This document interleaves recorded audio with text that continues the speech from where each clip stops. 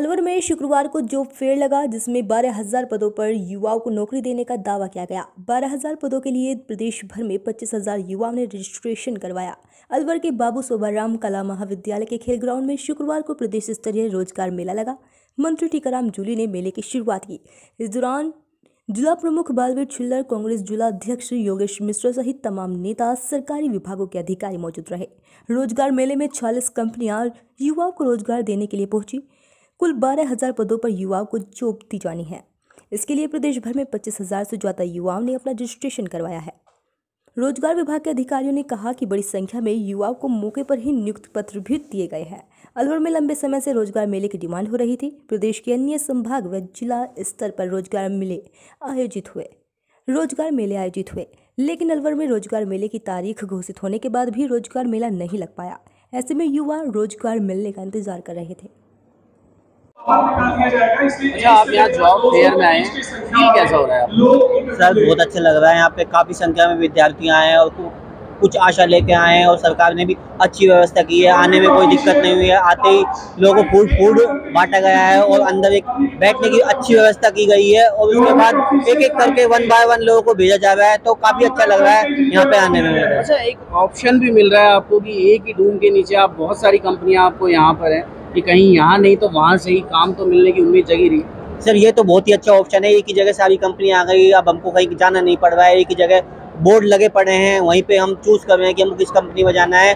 तो काफ़ी अच्छी हमको यहाँ पे सुविधा मिल रही है और कोई दिक्कत नहीं है। ये सरकार ने काफ़ी अच्छा अरेंजमेंट किया है नाम क्या आपका? सर मेरा नाम निरंजन कुमार नदेड़िया है। मैंने बी कॉम और एम कॉम किया हुआ है। सर मैं अलवर राजस्थान से हूँ। रिज्यूम मैं धन्यवाद देना चाहूँगा। प्रदेश के यशस्वी मुख्यमंत्री अशोक गहलोत साहब को। जो कि सभी जिलों के अंदर मेगा जॉब फेयर लगा रहे हैं। आज अलवर के अंदर ये फेयर लगा है, जिसके अंदर 45 कंपनी आई हैं, बारह हज़ार जहाँ वैकेंसीज हैं।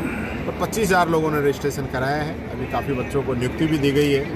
यहाँ इंटरव्यू चल रहे हैं और मैं ये कहना चाहूँगा कि आने वाले समय में भी इस प्रकार के आयोजन हम करते रहेंगे ताकि अलवर के युवाओं को रोज़गार मिल सके। अच्छा जो ये जॉब फेयर लगा है इसमें तकरीबन डेढ़ सौ कंपनियों ने कहीं ना कहीं आवेदन करा था मात्र पैंतालीस को ही जगह मिल पाती है वजह क्या रहती है? देखिए जो वैकेंसीज के हिसाब से और उनकी कंपनी के हिसाब से हमने सेलेक्ट किया है क्योंकि जो युवाओं को जो मौका दिया था कि वो अपनी चॉइस की कंपनी को सेलेक्ट करें तो उसमें जिनने ज़्यादातर जिस कंपनी को सेलेक्ट किया है उन्हीं को बुलाया। ये भी आपने कभी मतलब आपकी सरकार ने देखा है कि जो इनको नियुक्ति पत्र मिलता है उनका फॉलो अप किया है कि कितने लोग हैं जो रोज़गार ले पाते हैं या सिर्फ़ नियुक्ति पत्र तक ही रुक जाता है? नियुक्ति पत्र जो मिलते हैं उनको नियुक्ति होने के बाद ही मिलते हैं पहले नहीं मिलते हैं। नहीं ज्वाइनिंग की बात।